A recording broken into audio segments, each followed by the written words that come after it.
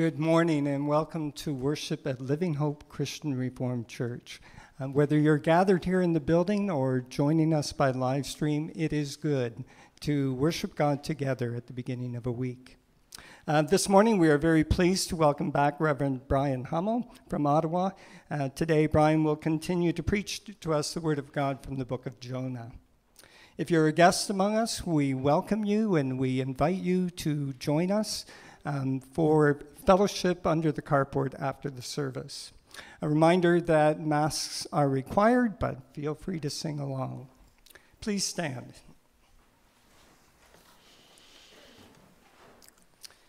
As we begin this time of worship, let's focus our hearts and minds on the Lord using the words of Psalm 108.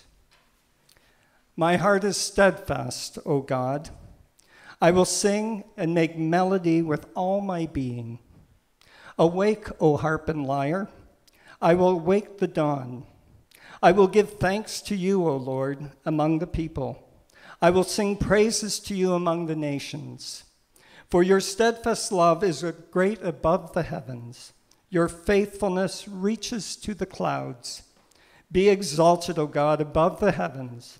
Let your glory be over all the earth.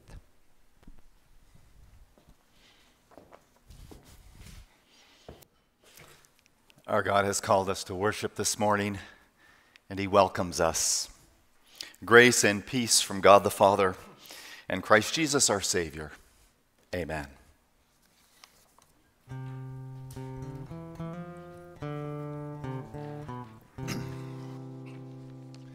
Blessed assurance, Jesus is mine. Oh, what a oh, foretaste of glory divine, heir of salvation, purchase of God, born of His Spirit, washed in His blood. This is my story, this is my song, praising my Savior all the day long. This is my story, this is my song, praising my Savior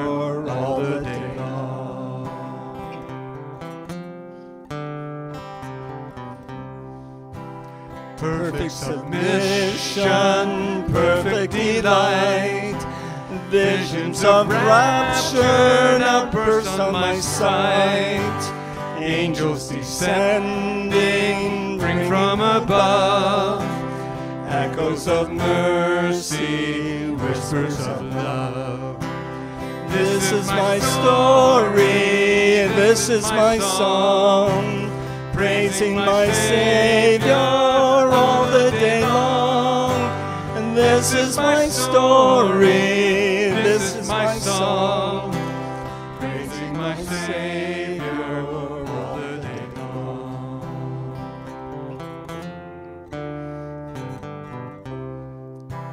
Perfect submission, all is at rest.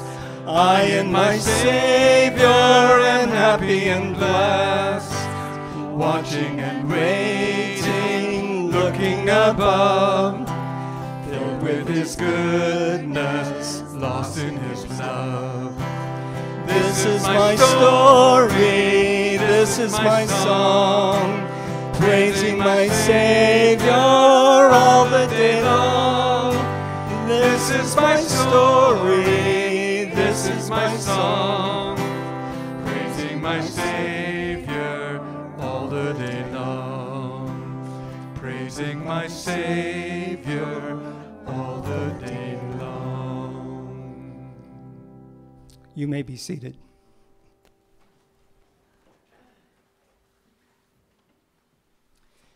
As I was preparing for our time of confession this week, the powerful image of baptism came to my mind. Just as water washes away dirt on our hands, so the blood of Jesus washes away our sin. Brian Doerksen, in a song called The River, uses the rich image of baptism to convey the real mercy of God given to us when we confess our sins before Him.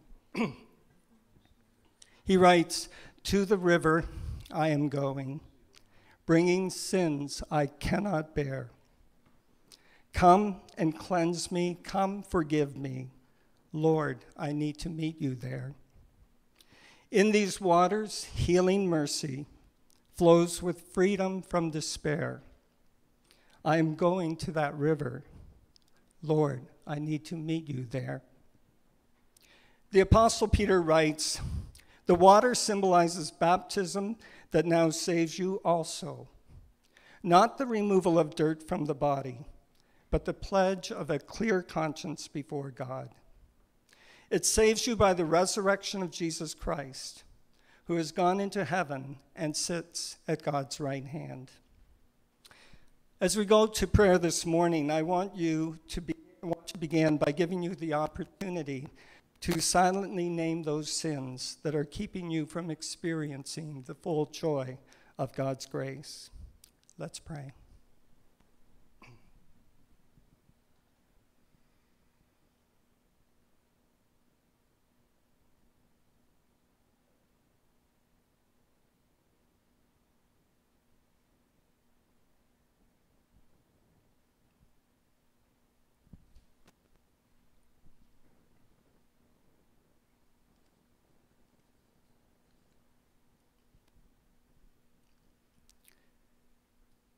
Gracious God, our sins are too heavy to bear, too real to hide, too deep to undo. Forgive what our lips tremble to name, what our hearts can no longer bear, and what has become for us a chain of bondage. Set us free from a past that we cannot change. Open us to a future in which we can be changed.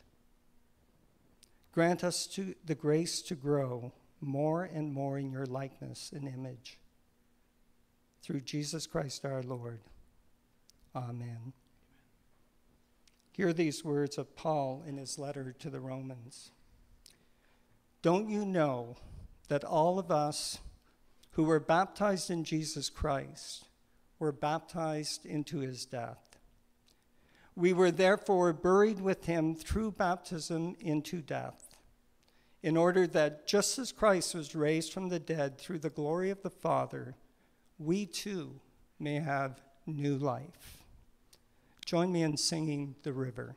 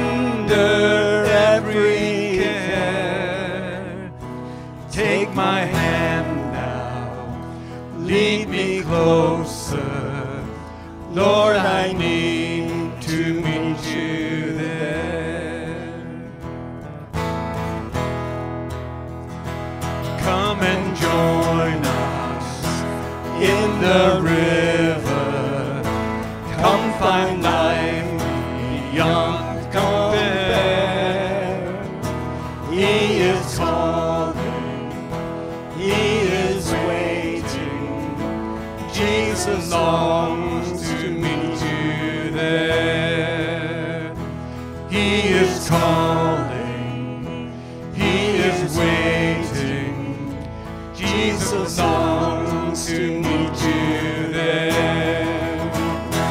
Precious Jesus, I am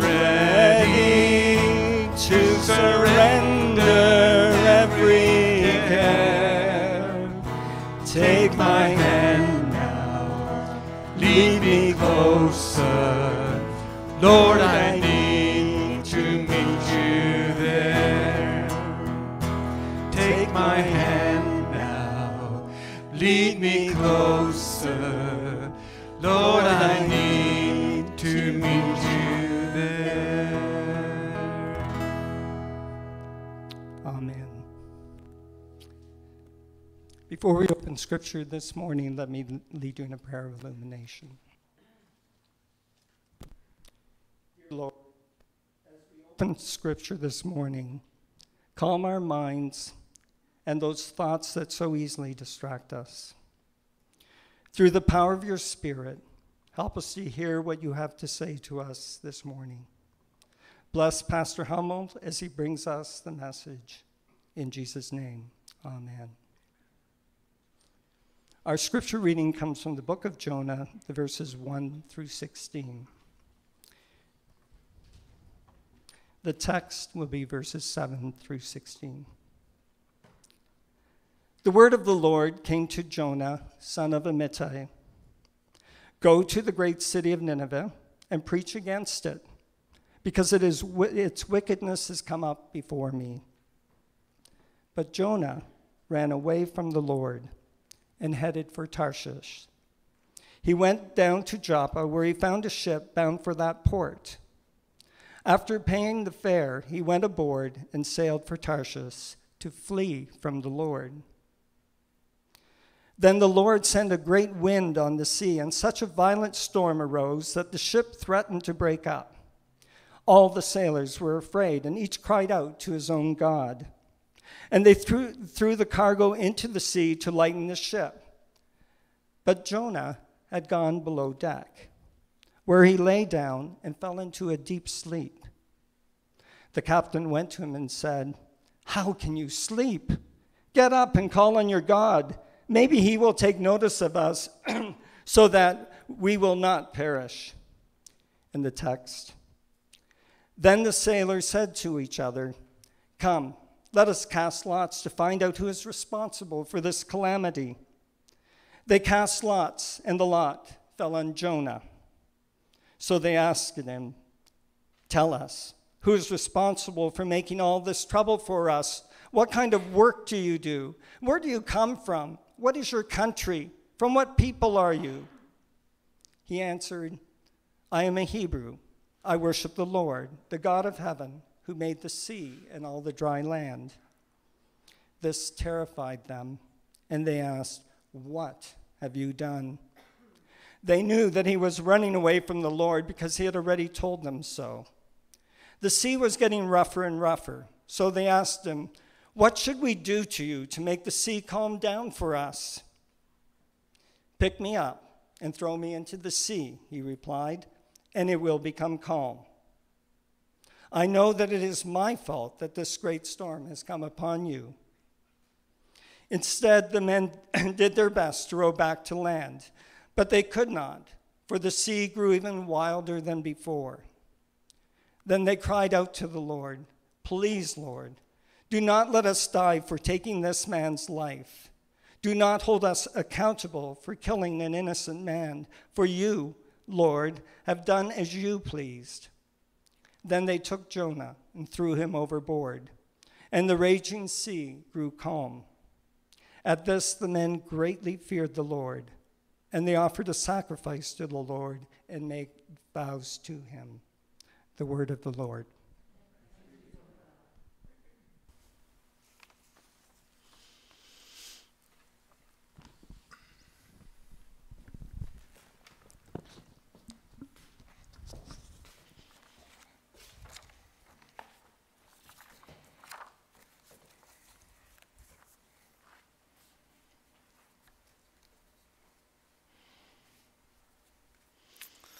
Jonah. Quite the story. Let me begin this morning with a few words of background to this book of Jonah. Uh, Jonah is a different book than all the other prophetic books in the Bible.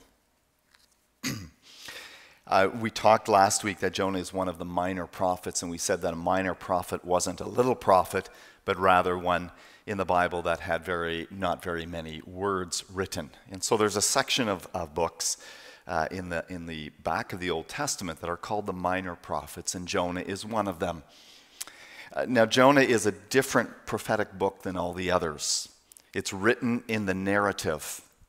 So it's a story where all the others are words of, of oracles that the prophets are speaking. And, and so we know very little about those prophets. Uh, whereas Jonah, we've, we, we get a little bit more of his story. And uh, one of the things that's unique about Jonah is that when the other prophets spoke out and gave a message of the Lord to the other nations, they stayed within Judah or Israel. Where Jonah is different, he's given a message from the Lord and he has, is sent into enemy territory. That's his, that's his call. So it's very unique that way. And, and because it's a, a, a narrative, it allows us to enter into the story a lot easier than some of the other prophetic books. You know, some of them you might be reading through them if you've read through your Bible and you think, what is going on? Where Jonah, you, you get the story, you see what's going on.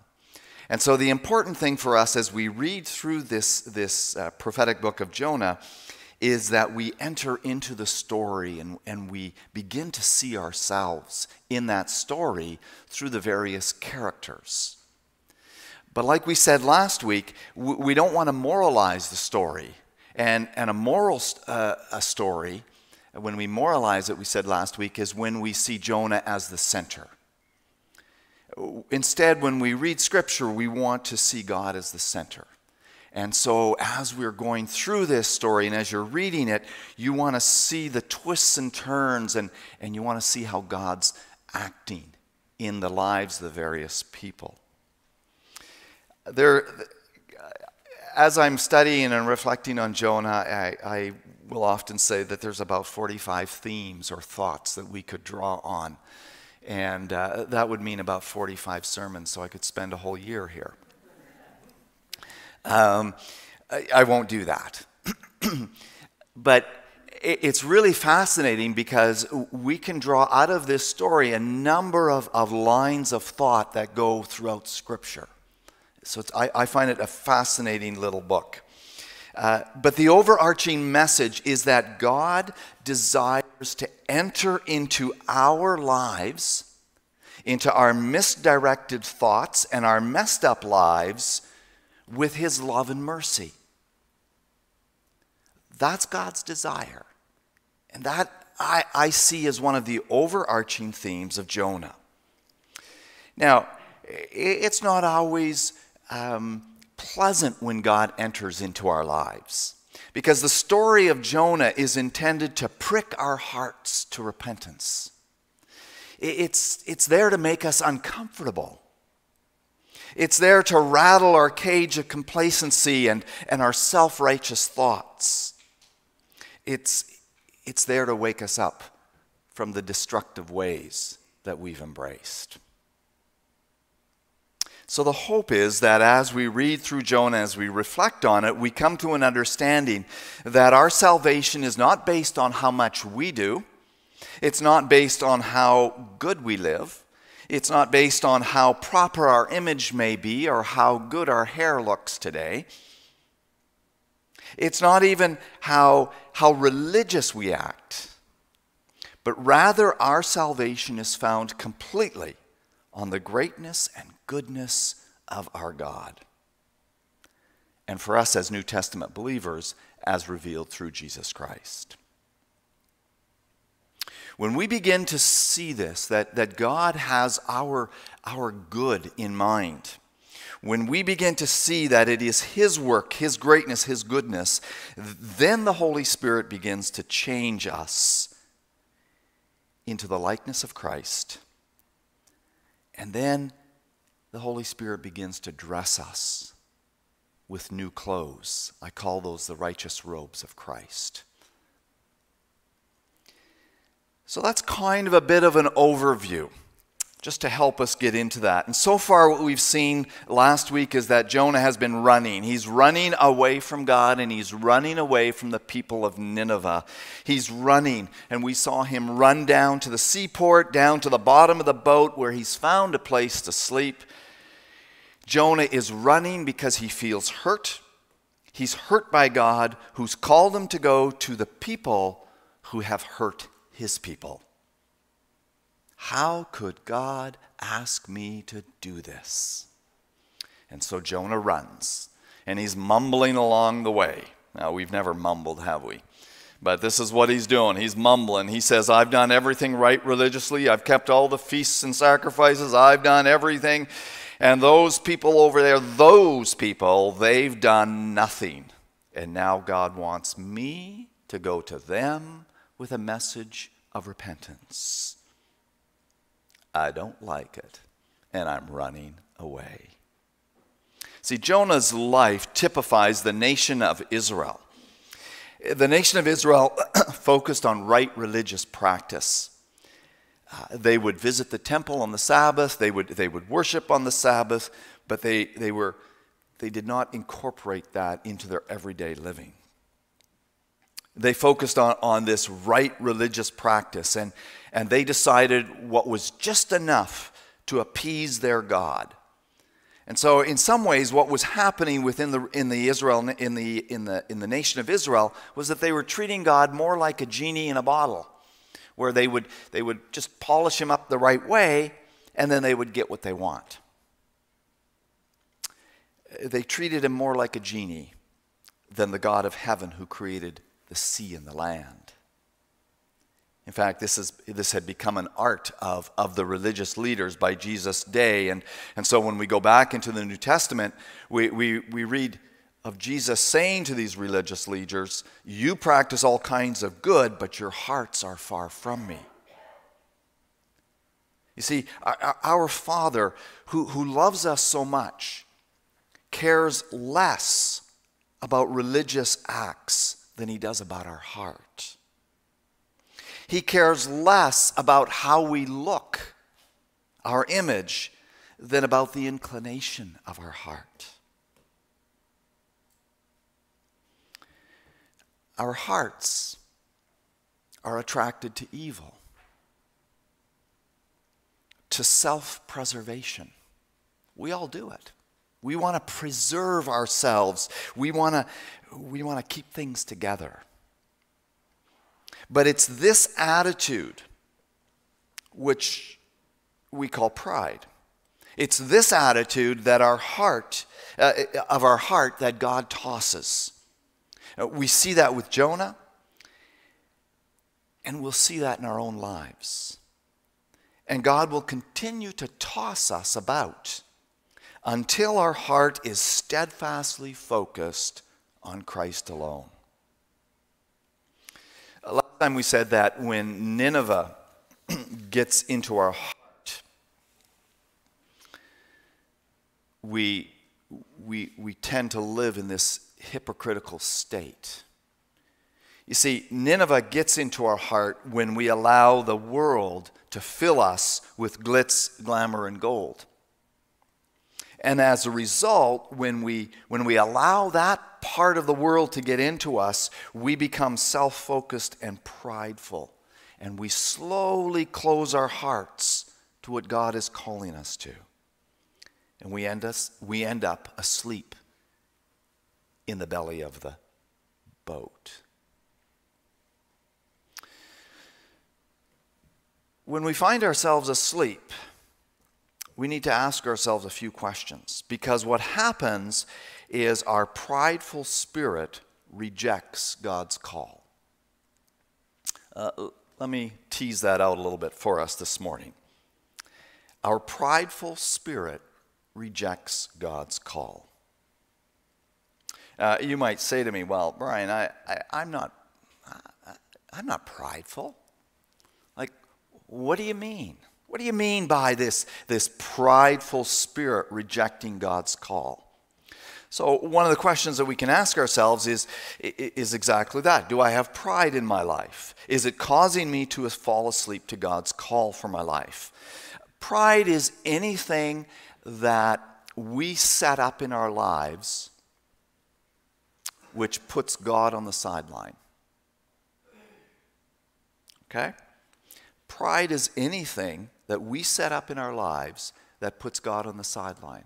And what I mean, what I mean by that is this when, when, when we go about our daily life, do we start our day or when we face a, a problem or issue, do we start by acknowledging who God is in our life? Because if we don't, what happens is we think we can solve or we can come up with a solution by ourselves. And that's where pride comes in. Let's go back to the story and look how this works out in, in Jonah's life and in the, the, life of the sailors. So, what we've seen is that Jonah is in full retreat. He's seeking to escape, and he is fast asleep in the, body, in the bottom of the boat thinking that soon his troubles will pass away and he'll be on the other end of the world. That's his plan. And he's, he's pushed God outside. God's not part of this plan. So, where have we either intentionally or unknowingly retreated? Where have we in our lives gone down below deck into the deep recesses of what we make important in order to escape from the troubles or the issues or the things that God is calling us to. Let me put it another way. How have we fixed our eyes on, on being really good religious people? So much so that we no longer see the Father. Are we like Jonah, creating a life of our own making? A softer, more palatable life a more self fulfilling life because we think we've got this and we'll do life our way. If Jonah is in full retreat, then the sailors, the sailors are in full damage control. In some ways, these uncouth, ungodly men are more religiously astute than Jonah. They recognize that they are in the middle of a storm that's no ordinary storm. These are seasoned sailors. They have seen everything, and they've seen nothing like this storm. And in their desire for control over the forces of what they think is nature, they begin throwing the cargo overboard and they try to ride it out. Do you see the pride there? We got this. And so they keep tossing the cargo. So imagine then what the captain thought when going into the belly of the boat, rummaging around and giving instructions for what to throw next. He finds Jonah there, fast asleep. He can't believe it. Whoa, buddy, what are you doing? Why are you sleep? How can you sleep? Don't you feel the storm? Don't you see it? See, Jonah's pride has pushed him into a place where he feels nothing. He's numb to the pain, to what God is doing. He's become emotionally and spiritually comatose, not quite dead. The sailor's pride pushes them to resort to anything from tossing the cargo to call out to your God. Maybe He will save us. Do anything to get us out of this storm. See, the sailors know that they've lost control and they now grasp at anything to save their lives. Do we ever do that? You know, stuff comes our way. Hard stuff. And we do anything to try to get rid of it.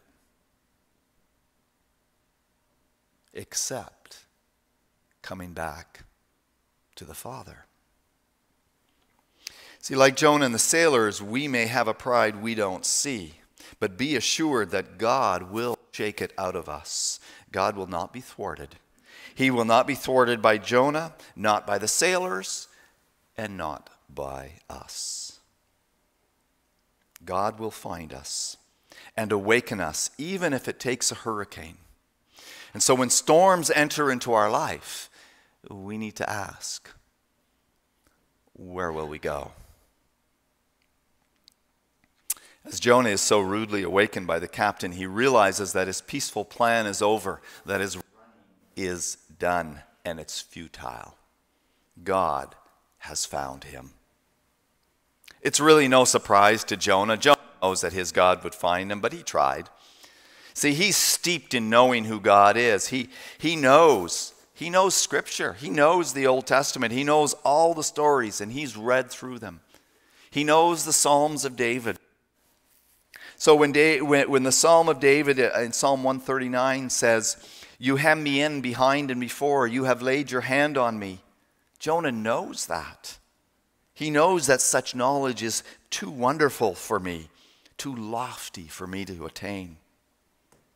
When, when, the psalmist continues and writes, Where can I go from your spirit? Where can I flee from your presence? If I go up to the heavens, you are there. If I make my bed in the depths, you are there. If I rise on the dawn, if I settle on the far side of the sea, which is what Jonah wanted to do, even there, your hand will guide me, and your right hand will hold me fast. Jonah knows that. He knows Proverbs. He knows Proverbs 18. The name of the Lord is a strong tower, and the righteous run to it and are safe. But at that particular moment in Jonah's life, he wants nothing to do with that God. And so he makes his own. See, Jonah knows who God is in his head. And he also knows something that the sailors don't know. He knows that no one can successfully run away from God.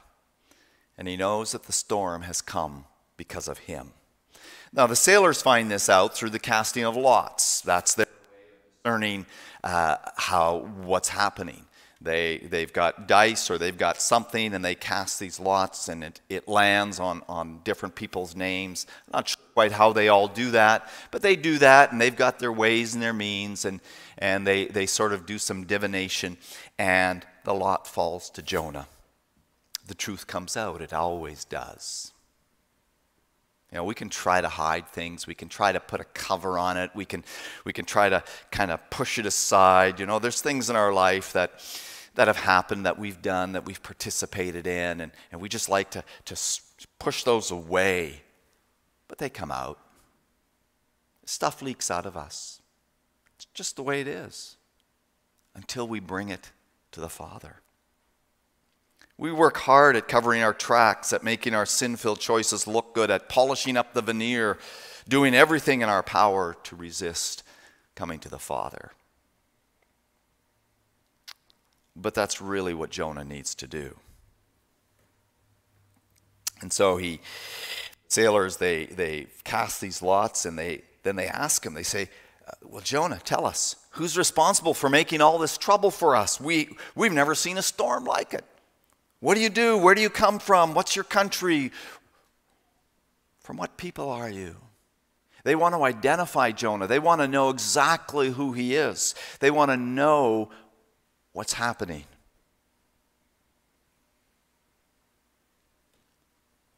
They're terrified when Jonah says, I'm a Hebrew and I worship the Lord, the God of heaven, who made the sea and the land. They're terrified because they've heard of this God. But they are sailors and they worship only the God of the sea. And here's Jonah who worships a greater God in their eyes. And it terrifies them. It terrifies them. And the sea gets rougher, and it gets rougher.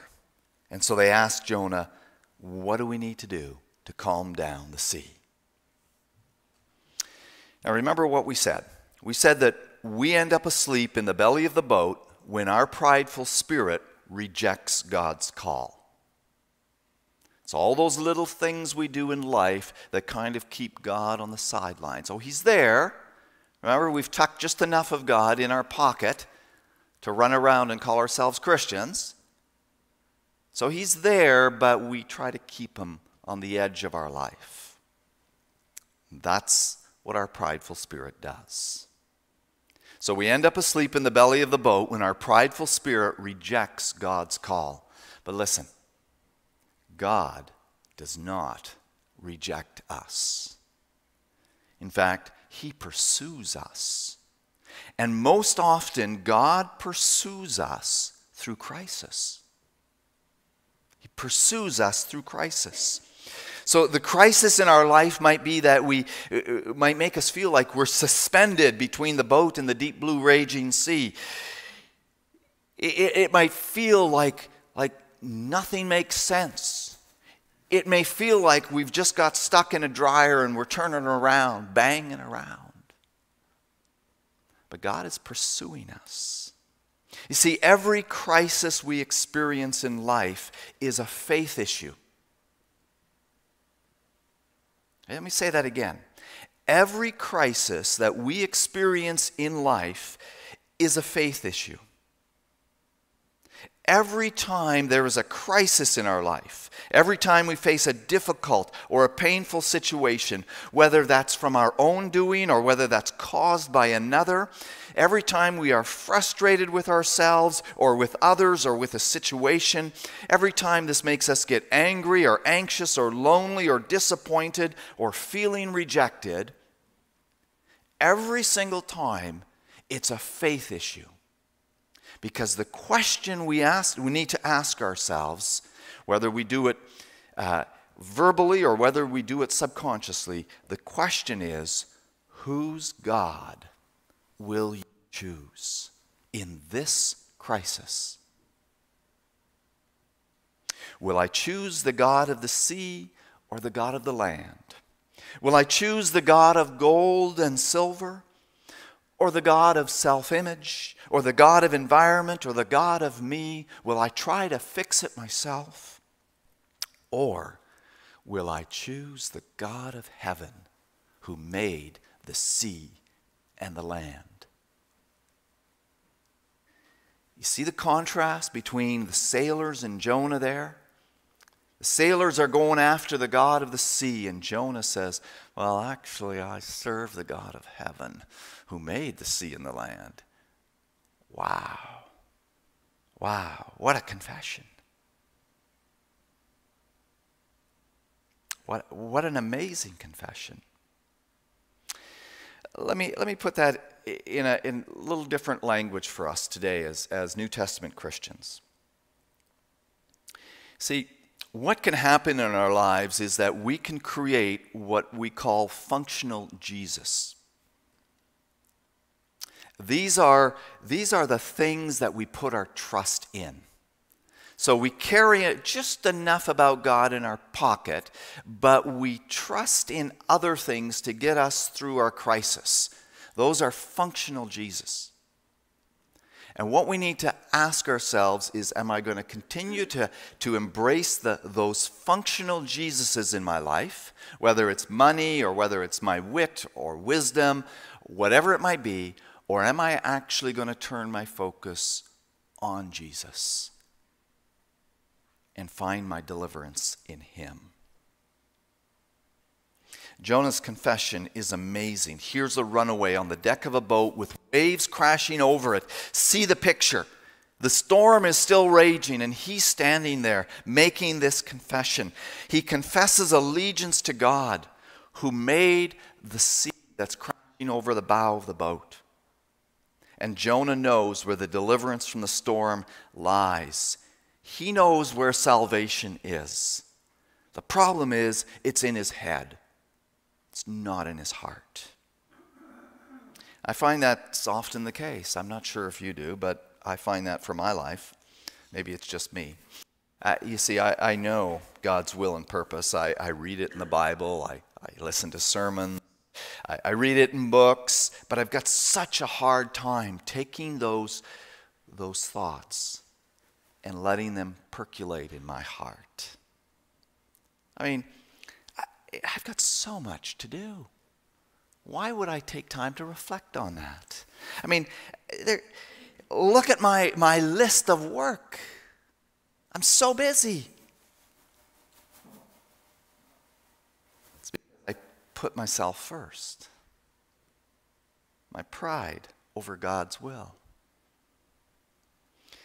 When we live this way, God will always make us uncomfortable. He will bring crisis into our life. He's going to put pressure on us. So when we find ourselves in places that overwhelm us, what we learn this morning is that we need to stop running. We need to turn back to God. When our sin, when our choices, when our decisions, like waves, come crashing over the bows of our boat, we need to turn back. It's been said that the story of Jonah is, is, is the Old Testament equivalent of the parable of the prodigal God who, who we read about in Luke 15. Oh, most of us know it as the parable of the prodigal son. Some, some writers have said it's, it's actually the parable of the. At one point in this story, the younger son looks around at the stench he's living in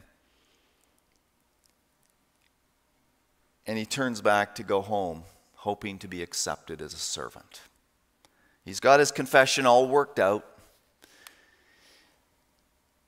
But what happens is amazing.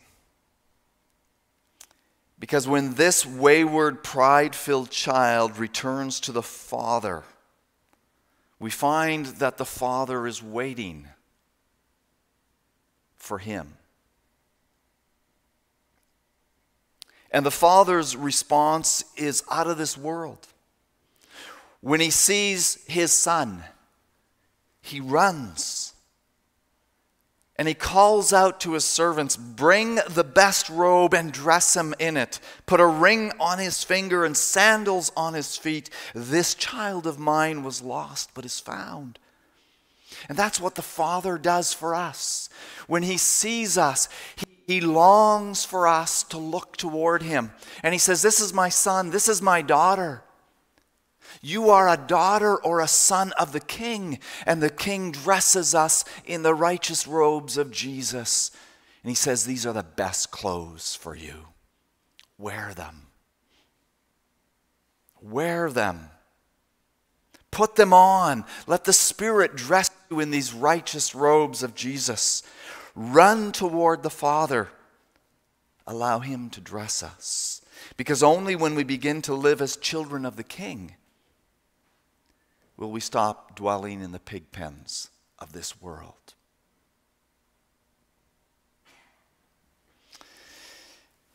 Jonah says, Pick me up and throw me into the sea,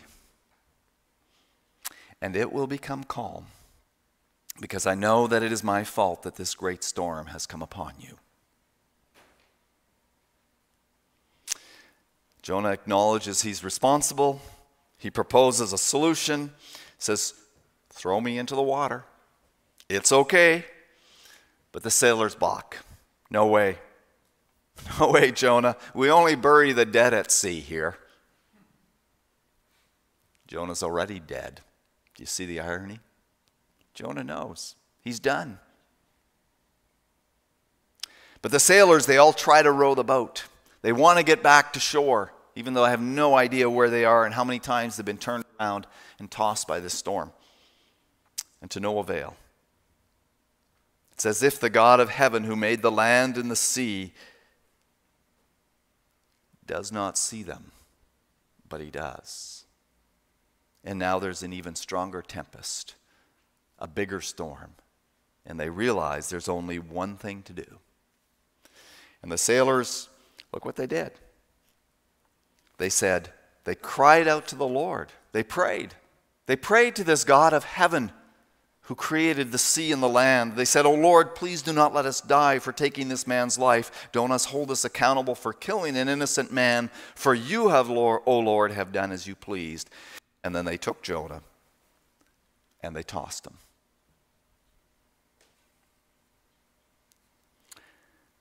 And then look what happens. The moment Jonah hits the water, the moment Jonah hits the water, the raging sea grew calm. And the sailors, the sailors feared the Lord and they offered a sacrifice to the Lord and made vows to him. Wow, it's an incredible God. That's our God. That's your God. That's my God. It's incredible, amazing. But make no mistake, make no mistake. God initiates all the tossing. He tosses a hurricane wind on the ship and the sailors who toss everything overboard and eventually toss Jonah. And God will toss us. He's going to do it. But He's there in the middle of the tossing. There's another story in the Bible about a boat getting caught in a storm.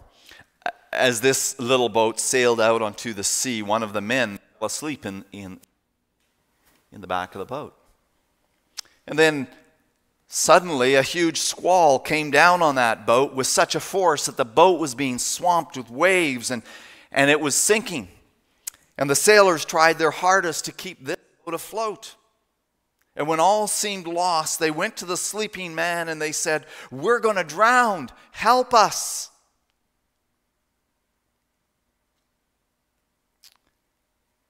And the man and with a word rebuked the wind and the raging waves, and all was calm. And then he turned to his disciples and he said, Where is your faith? Jesus, the Word made flesh, the Word who created the sea and the land, is also the one who calms the storm. And so when we find ourselves in the storm, turn to Jesus. You see, He will bring us through our storms because He too was tossed by the Father tossed from life to death, suspended between heaven and earth. And as he hung there on that cross, he called out to his Father and he says, Into your hands I commit my spirit. The one who, unlike Jonah, the one who knew no sin, took on sin and willingly lay down his life for us that we may have life. Will you turn with me to the only one who can calm the sea? Let's pray. Father, thank you that you are the God who uh, takes us through storms, walks us right to the end. Father, would you lift the scales off our eyes that we would see that you are with us and that you want us to walk with you, not by ourselves. Father, may your spirit sink deep within our hearts, that we would be willing to release our grip on those things that we find so precious and hold only on to you as our Savior. Amen.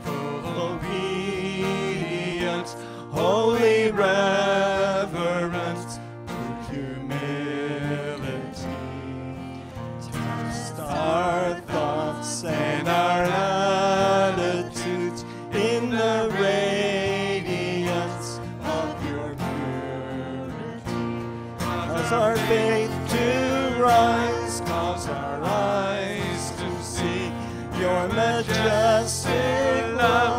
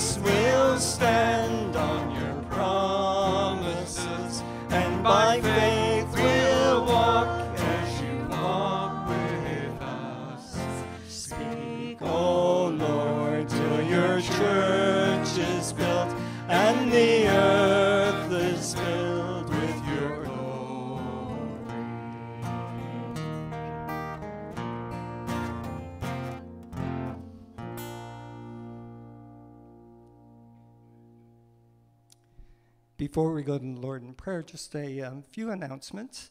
Um, Thanksgiving is a week away. Thank you to many of you who just sent wonderful pictures of things that you were grateful for during this season of COVID. If you haven't done so yet, please do so today. Um, tomorrow at the latest, it takes Doug several days to put that together, so the sooner the better. Thank you.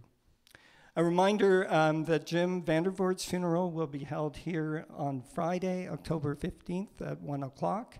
Um, if you wish to attend, you're asked to email Jane, it's petpal at rogers.com, by this Friday, October 8th. It takes, again, a while to see how this will work out with the limitations of COVID in our church. The funeral will be live streamed, so if you're unable to be at the church, you can um, view it via live stream. Uh, Leona tells me that Matthew is doing better. His eyesight is coming back slowly. It'll take a little while, but um, the news is good. Uh, Joanne P. was in hospital this week, but we're really glad to see that she is here at the back of the church and she's doing well. Let's go to the Lord in prayer.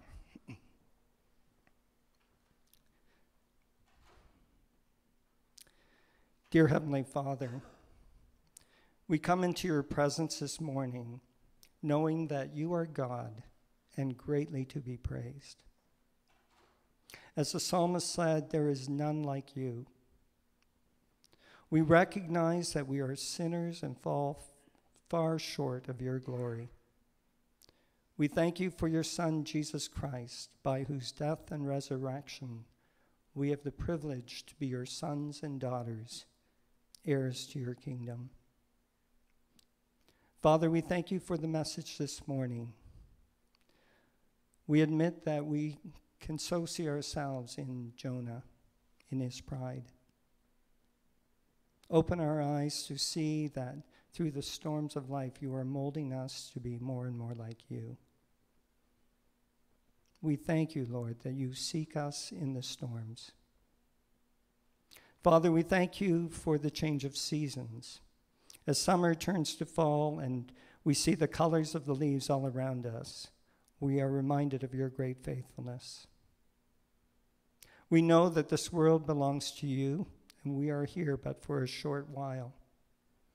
Help us to be good stewards of creation so that future generations will have food to eat, safe places to live, clean air to breathe, and fresh water to drink.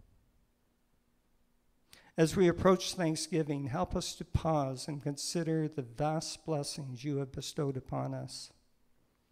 Teach us to be grateful for all that we have. Open our eyes to see the needs of those around us and challenge us to see all those opportunities which you have planned in advance for us to do to help others. We pray for a world that has been so deeply affected by COVID 19. We continually pray for the infected, and we pray that you restore them to good health. We pray for the grieving, grant them comfort. For those whose jobs have been affected, continue to grant them provision. This morning, we want to especially pray for our healthcare workers who are physically and emotionally exhausted men and women who risk their health every day to take care of the sick. Help us to do what we can to support them in their work. We pray for our municipal, provincial, and federal leaders as they are faced with a deeply polarized electorate. Give them wisdom to do what is right when faced with so many conflicting opinions. Help us to realize that our choices affect others. Help us to make responsible and wise choices. We pray for refugees and migrants around the world who have no place to call home. Help us to show compassion. Help us to, to, to resist those temptations to racism. Help us to work toward justice for all. We pray for your church around the world. We pray that we may be true to your word in a world that seeks to dismiss you as irrelevant. We pray for a blessing on Doug and Pastor Jane during their sabbatical. We look forward to their return in November. We pray for elders, deacons, and various committees. Bless them in their work. We raise Haley, Jane, Joe, Levi, and the rest of the Vandervoort family as they mourn the passing of Jim. Jim was a strong, positive, and caring man who will be missed by many of us. We are grateful that his suffering is over and that you took him home to be with you. Give Jane strength and wisdom as she plans the funeral during a time when COVID restrictions make it so difficult. We remember those who are recuperating from illness or surgeries. We continue to pray for John, Bert, Matthew, Joanne. Restore them all to good health. We pray for the elderly, Bernie, Ed, B, Reet, and the caregivers that support them. Keep them safe. We pray these things in the sure knowledge that you hear our prayers in the name of your Son, Jesus Christ. Amen.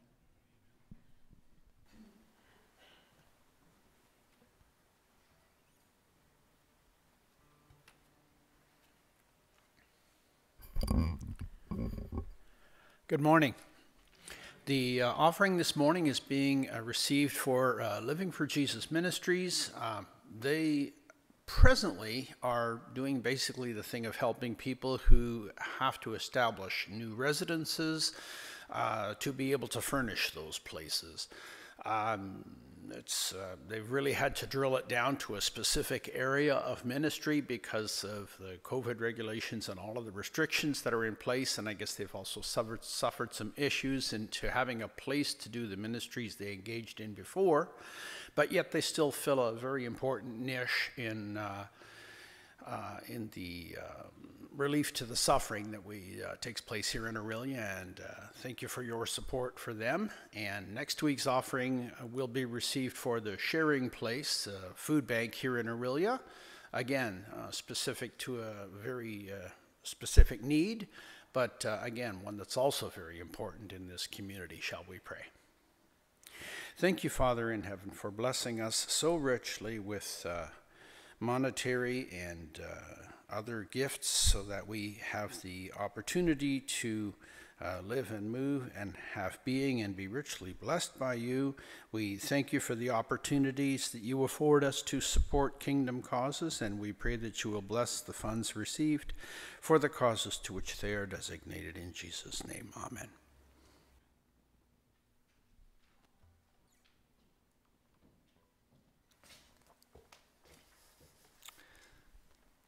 For those of you who can, I invite you to stand with me to receive the Lord's parting blessing.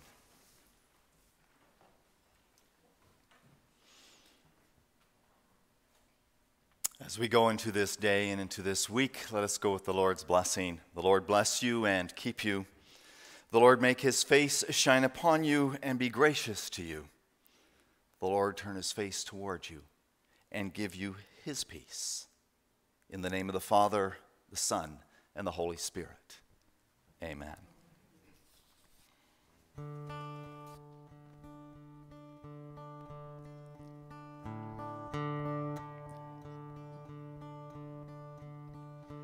We receive your blessing, we receive your grace as we walk in the light shining from your face. May the peace that you give change the way that we live. We receive your blessing as we leave this place. We receive your blessing, we receive your grace. As we walk in the light shining from your face, may the peace that you give change the way that we live. We receive your blessing as we leave this place. Praise God from whom all blessings flow. Praise Him, all creatures here below. Praise Him above you, heavenly hosts. Praise Father, Son, and praise the Holy Ghost. Praise God from whom all blessings flow. Praise Him, all creatures here below. Praise Him above you, heavenly. Praise Father, Son, and praise the Holy Ghost. We receive your blessing, we receive your grace. As we walk in the light shining from your face, may the peace that you give change the way that we live.